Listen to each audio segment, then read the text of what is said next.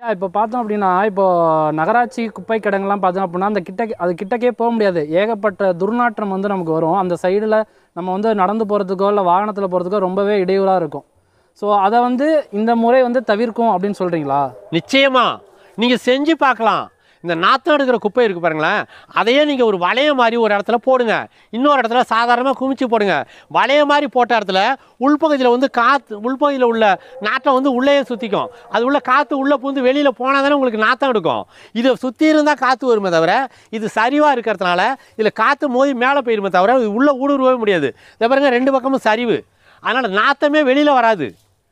மடித்தல் வினை நடக்கும். அப்படியே எல்லாம் உள்ளே வாங்கி கொஞ்சம் கொஞ்சமாக வெளியேறிடும்.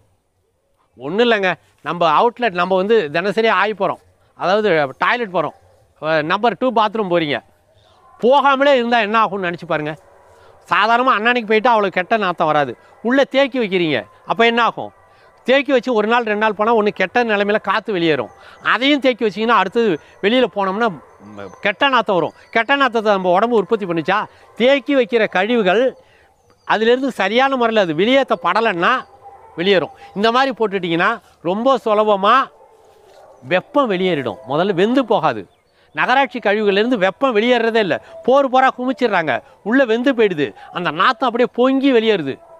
பொங்கி வெளியேறுது. இந்த மாதிரி வளைய மாதிரி போடும்போது வெப்பம் வெளியேறிட்டே இருக்கும் குளிர்ச்சி உள்ளே இறங்கிட்டே இருக்கும். நாற்றம் கெட்டே போகாது. மண் மாதிரி மக்கிடுது இது. மண் மாதிரி தெரியுது. அப்படியே கொஞ்சம் கொஞ்சமாக அமுங்கி நாற்றத்தை மண்ணில் போட்டு புதைச்சா நாருமா? தரைக்கு மேலே கடந்தா நாரும். மண்ணில் போட்டு புதைக்கிறது மாதிரி இந்த ரெண்டு பக்கமும் சரிவை ஏற்படுத்திங்கன்னா பூமியோட பூமியாக சேர்ந்துடுது. ரொம்ப வேகமாக நாத்தம் குறைஞ்சிரும். நகராட்சி கழிவுகளை இந்த மாதிரி வளையம் வளையமாக போட்டு பார்க்க சொல்லுங்கள் சில இடங்களில் முன்மாதிரிக்கு. அந்த இடத்துல இருக்கிற நாத்தத்துக்கும் திறந்த வெளியில் கொட்டியிருக்கிறதுக்கு உள்ள நாத்தத்துக்கும் வேறுபாடு தெரிஞ்சிடும் சொல்லி தான் கொடுக்கலாம்.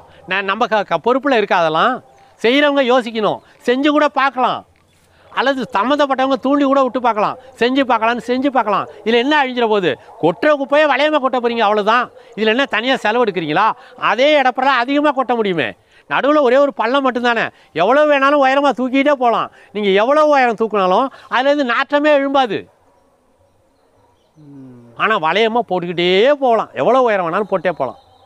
சரிவை வெளியில் அகலப்படுத்திகிட்டே போக போகிறீங்க அந்த கு குவியல் வந்து உள்ளே குவிஞ்சிட்டே வரப்போகுது. அவ்வளோதான் அவ் எவ்வளோ உயரம் குவிச்சாலும் அவ்வளவும் அற்புதமான உரமாக மாற்றி அப்படியே அள்ளி அள்ளி வயலுக்கு ச வாரி இறைக்கிற உரமாக மாறும். நாத்தமே இல்லாத உரம். எந்த ஆனால் பயிர் அப்படியே எடுத்துகிட்டு சாப்பிடக்கூடிய உரம். அவ்வளோ அற்புதமான உரமாக மாற்றலாம் கோடி கோடியாக பணம் மிச்சப்படும். முதல்ல மக்களுக்கு அந்த கெ கெட்ட நாத்தம் இல்லாமல் நோய் வராமல் நோய் பரப்புகிற கிருமிகளை ஒழிக்கலாம்.